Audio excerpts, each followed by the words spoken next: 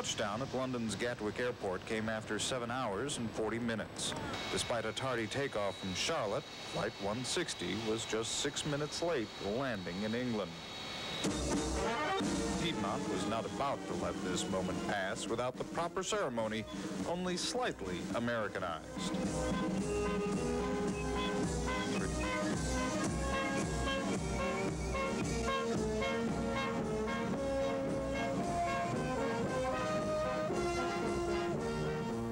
Inside this plane, named the Pride of Piedmont, the nearly full house was applauding.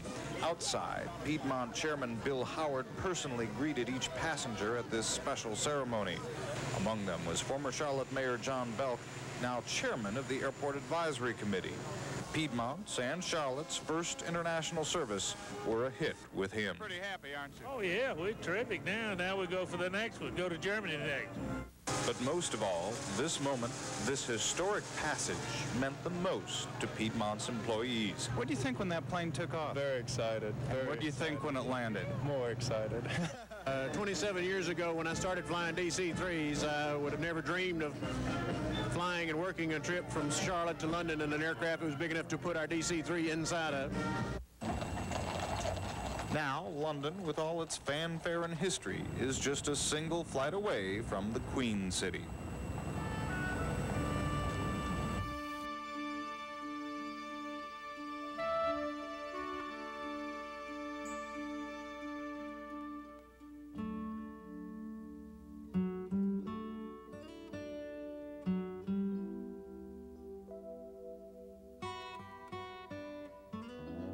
What ingenuity it takes to build a model airline.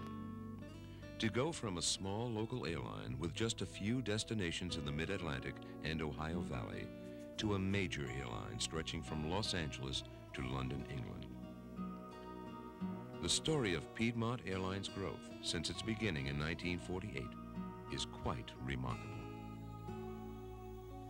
Our first fleet was three DC-3s, two of which we owned third one we leased. Uh, I well remember getting those first two DC-3s. Bud Gilley, one of our uh, original pilots, and I went to New York and looked the airplanes over and decided they were uh, good opportunity, well maintained, good shape, ready to go on the line. So he flew one back and I flew the other one back in formation.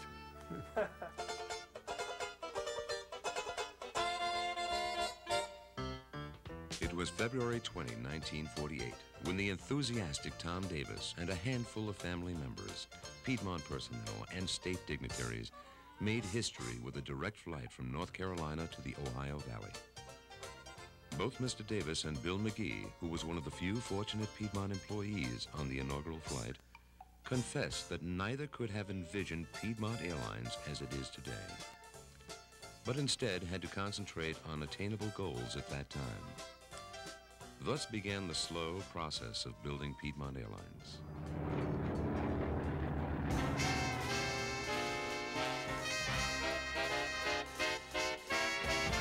By the end of 1948, six luxurious three-mile-a-minute, 24-passenger DC-3s were in service, flying in six states and 28 communities, a territory that never had scheduled airline service.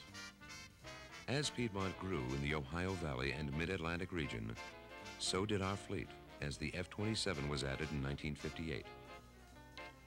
And in 1961, the Martin 404 joined the fleet, placing Piedmont atop the local service carriers with the largest fleet of modern pressurized aircraft. In 1962, the CAB authorized a 50% increase in Piedmont's route mileage. This was, to date, the largest single-day expansion program ever accomplished by a local service airline. While propeller airplanes had served us well, we soon began looking at more modern aircraft. At that time, Bill McGee was Assistant Vice President of Sales. In my own mind, one of the uh, most significant days in the history of this company was when we made the transition uh, into uh, the jet era. When we operated the first uh, seven 27 aircraft, uh, which uh, was an aircraft uh, that we had leased while we were waiting on the delivery of the 737. Uh, we felt from a marketing standpoint and an operational standpoint that it was time created by competitive activity that we get involved in the jet business. So I think, aside from the original startup date, that that probably is one of the most significant moves that the company's made, one that certainly was a dynamic move and a move that uh, has uh, set the pace for the rest of the progress of this company. As the new Boeing jets joined our fleet, we added larger prop jets with the addition of the FH-227 as well as the YS-11. In 1967, the airline moved into a new general office and maintenance hangar. And on a rainy day in October, the new facilities were dedicated. An expanding route system, new planes, and a beautiful new headquarters facility. Things that were happening then to make us even more proud of our airline. Many more changes occurred in our operation in the 70s, when in 1971, a new central reservations office opened in Winston-Salem, dramatically improving passenger service and internal efficiency. The old handwritten file card system was replaced with computer terminals, providing immediate flight information. In 1975, our fleet took on a new look. The YS-11s and 737s got a new paint job, a new insignia, and the word airline was dropped. A bold new look. In 1978, as the war over airline deregulation was being fought on Capitol Hill, Mr. William Howard joined Piedmont's management team bringing some new ideas on deregulation. Mr. Howard said we should support deregulation based on the growth opportunities and the fact that as an efficient carrier, we could successfully compete with other airlines. Piedmont soon changed sides, supporting deregulation, and in October 1978, a new era in air transport regulation began with the passing of the Airline Deregulation Act.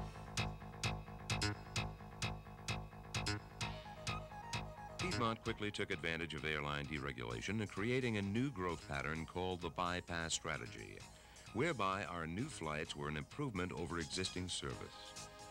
When we inaugurated service to Denver and Miami, for example, we bypassed the large traditional connecting points and flew nonstop from important cities in the east.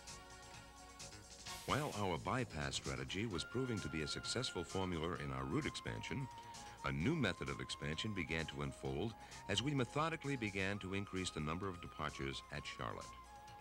In 1980, we began scheduling flights to allow online connections, avoiding traditional interline connections.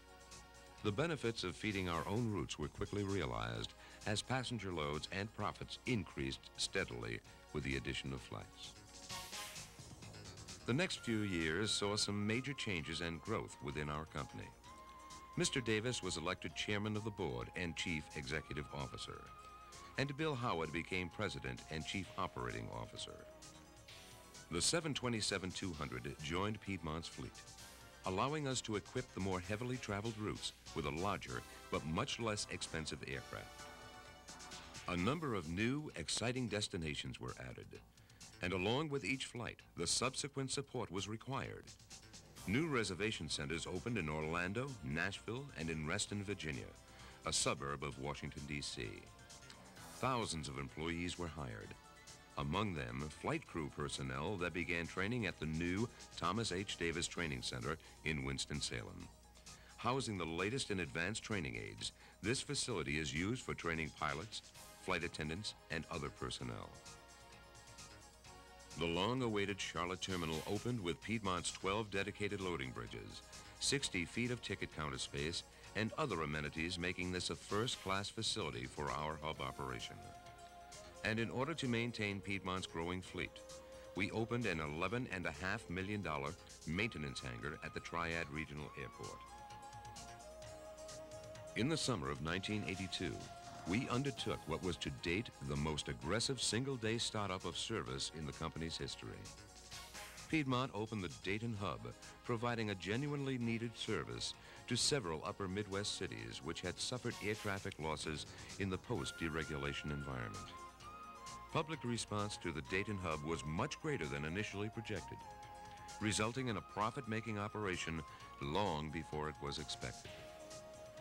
Around that same time, we began pampering members of Piedmont's presidential suite, an array of services, from booking reservations to pouring complimentary soft drinks, are provided in these exclusive suites, which are now located in many of Piedmont's major terminals. Soon after Tom Davis retired and Bill Howard was elected president and chief executive officer, Piedmont on July 15, 1983, opened a third hub at Baltimore, Maryland. Off to an even stronger start than either Dayton or Charlotte, flights at the Baltimore hub had over half their seats filled in just the fourth week of operation. An innovative addition to the BWI hub was made that summer when Piedmont reached an agreement to acquire Henson Airlines, a regional airline based in Salisbury, Maryland. The first time in aviation history, a certified airline has owned its own regional subsidiary. 1984. What profound accomplishments throughout the year. Several new cities joined the Piedmont system, including our first ever West Coast service to Los Angeles and San Francisco. A wave of challenges ranging from the acquisition and modification of long-range aircraft to designing new in-flight services with first-class cabins accompany the startup of the transcontinental flights. We began operating the Fokker F-28, providing passengers with jet comfort on routes that had previously generated only marginal boardings on the larger Boeing aircraft. We began a new frequent flyer program as well as a new advanced seat assignment program, further entrenching our position as a full-service airline. And with revenues exceeding a billion dollars, Piedmont joined the ranks of the major airlines. In recognition of our achievements in 1984, Piedmont was named Air Transport World's Airline of the Year. One of the prices of success is attracting the attention of your competitors. In recent years, we've seen our competitors invade the heart of the Piedmont route system. It was quite evident that major expansion of our airline support areas was necessary in order to continue providing our high standards of customer service. The Winston-Salem Reservation Center underwent a multi-million dollar facelift, and a new reservation center was opened in Dayton, Ohio. We opened a $6 million addition to the Greensboro Maintenance Hangar, and a new multi-million dollar reservations computer center came online, allowing us to more efficiently handle our passenger services. The Boeing 737-300 joined Piedmont's fleet of aircraft. The Dash 300 aircraft has new fuel-efficient engines and is by far the most flexible passenger aircraft on the market, with the ability to perform short-haul and long-haul flights equally well. Several new cities joined the Piedmont system in 1985. However, the most concentrated expansion occurred in Florida. Piedmont placed into action Project Omaha, the code name for the new service with 56 new daily flights within the state of Florida, utilizing our F-28 aircraft.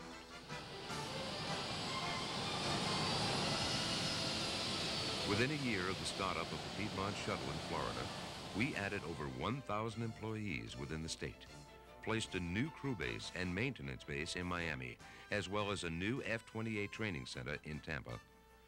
In Orlando, we opened a new $4 million reservation center to handle the increased Florida traffic.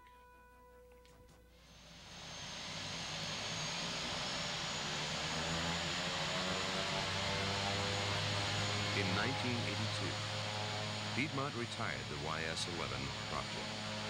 Today, however, a number of propeller aircraft are flying the Piedmont colors as part of the Piedmont commuter system. CC Air, Jetstream International, and Brockway Air have joined the Piedmont commuter system. Combine these with the Piedmont Regional Airline with its new destinations in Florida and the Bahama Islands. We're providing customers living in small cities easy access to anywhere Piedmont serves.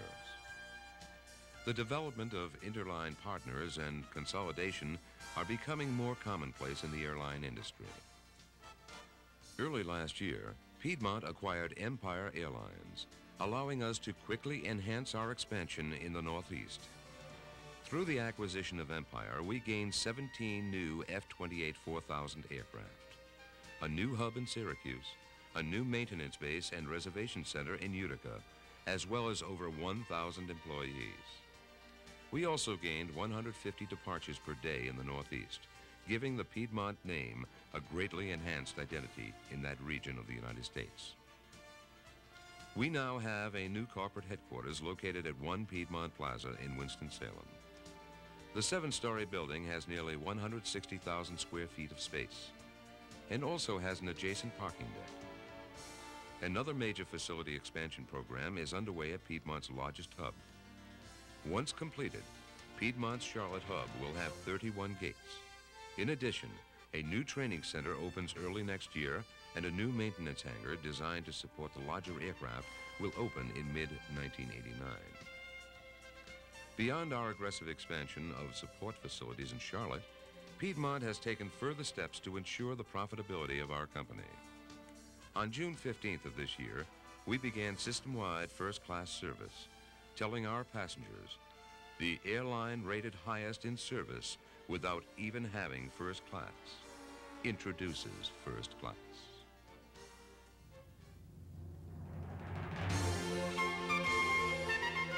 It began in July of last year with an application to the U.S. Department of Transportation for authority to begin service to London, England. Now, with new facilities in place at London's Gatwick Airport, a reservation center nearby, and back here in the United States, support items and facilities in order, Piedmont's Flight 160 was ready for departure. And we're about to make some history. This is a big day for the city of Charlotte, and certainly the greatest day in Piedmont Airlines history. The inaugural flight from Charlotte's Douglas International Airport, bound for London's Gatwick, we'll be leaving in just a few minutes.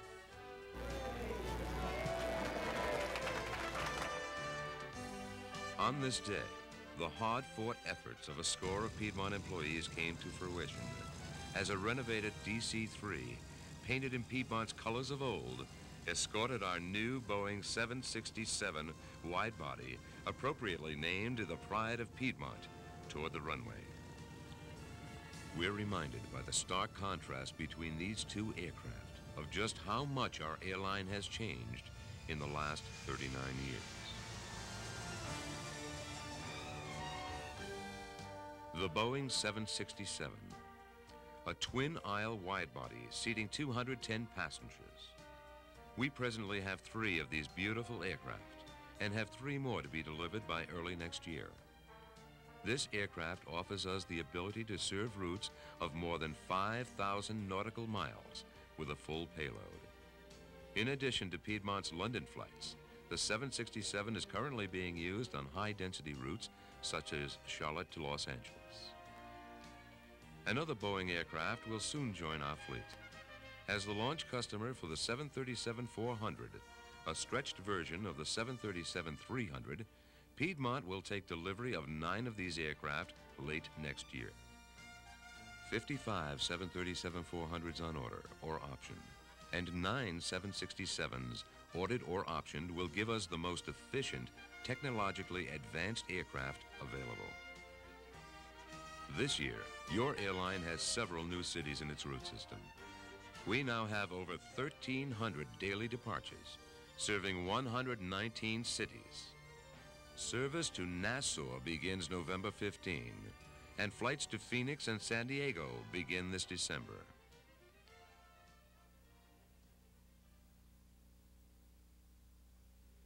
Nineteen eighty-seven, a year of change for Piedmont.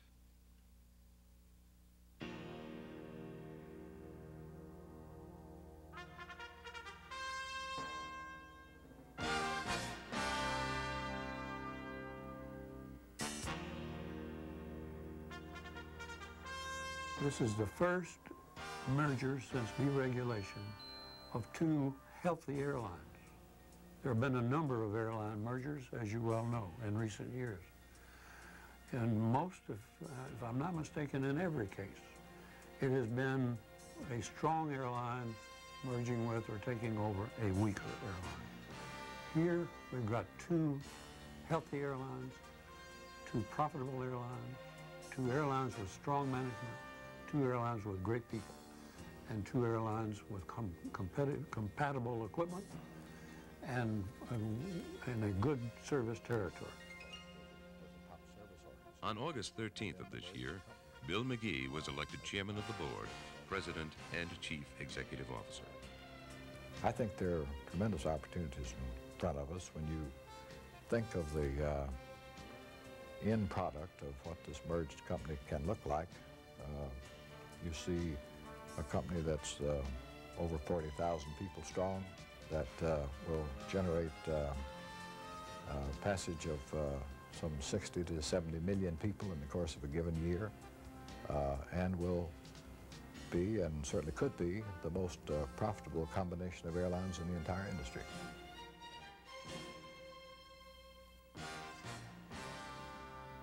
Less than 10 years ago, Piedmont was among the smallest of 17 certified regional and trunk airlines, with 5,000 employees flying 35 jet aircraft. Under the combined Piedmont US Air PSA system, we will be the third largest passenger enplaning airline in the free world, with 400 jet aircraft and 40,000 people.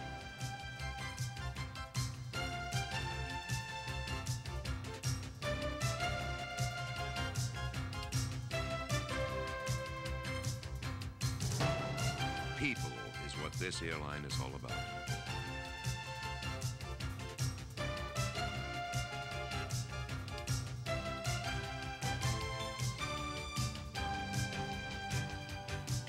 On the ground and in the air, Piedmont is people.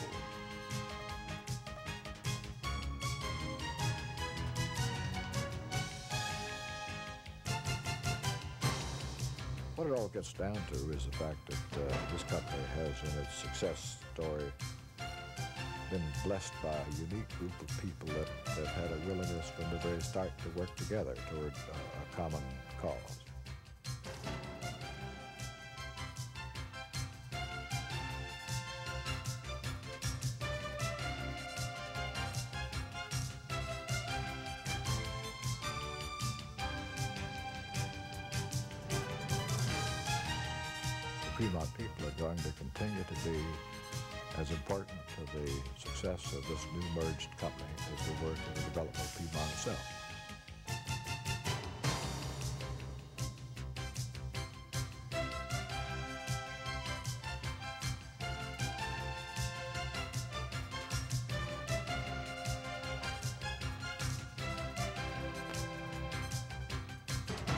As we face the challenges before us, we carry with us our heritage, that Piedmont know-how, the spirit that came to life on a cold February day in 1948. And through the years, has enabled us to build Piedmont Airlines, a model of how good an airline can be.